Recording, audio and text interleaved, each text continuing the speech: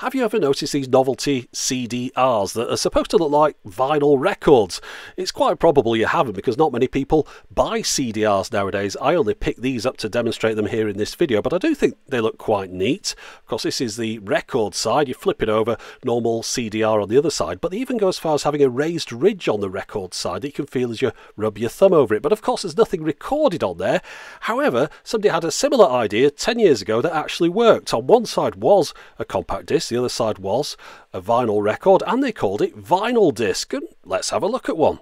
The format was introduced in 2007 and was only used for a handful of releases. The disc that I've got is the first one that came out by the group Fightstar. It's been signed by the group on this sleeve as well, and it's still in its cellophane. It's a CD single. We've got three tracks on the CD side and then a separate track on the vinyl side.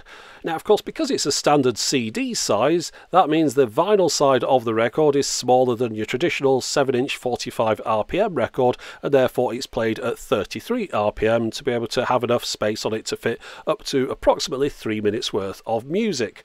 Now, in the centre of the disc, there's a foam disc which is blocking up that hole. We'll need to push that out to be able to play it in a CD player, but we do need to keep that because it's important. I'll show you why in a second.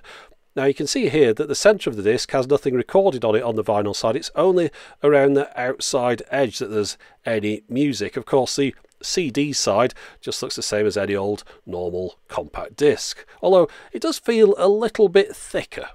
Now the size of the hole at the centre of a compact disc is of course different to that on a vinyl record and that is where the little foam disc comes in because the centre of that can be punched out which leaves a hole in that and effectively it gives you a little foam washer that you can put in the centre of the disc to make it the right size for going over the spindle on a standard vinyl record player. Now whilst I've got an automatic turntable I'll have to operate it manually because of course the disc is smaller than a standard record so it wouldn't put the arm down in the correct place. So I'll need to manually place it down very carefully at the outside edge of the disc.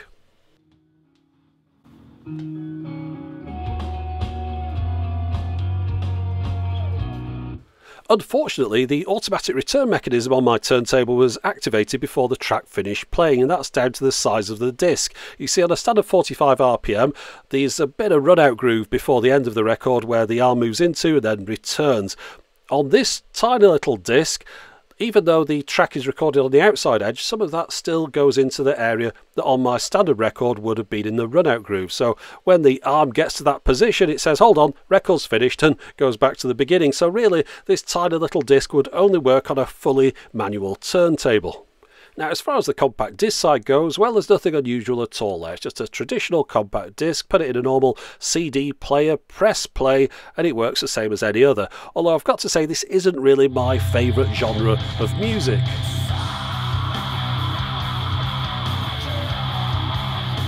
Vinyl disc was introduced in 2007 as a sales gimmick. They weren't even sure anyone would have a record player to play it on. I was wondering, would it be more successful if it came back nowadays, given the resurgence in sales for vinyl? I'm not too sure. I still think it feels very much like a gimmick. The vinyl side didn't sound very good. I think those grooves are very closely packed together. But the main issue I had was trying to get the stylus down at the start on the lead in on the record because it's such a small lead in. It took me a lot of goes to get it just right. So I still think this is something that's perhaps best left in 2007, but it was a little bit of fun. I hope you've enjoyed watching a video about it, and as always, thanks for watching.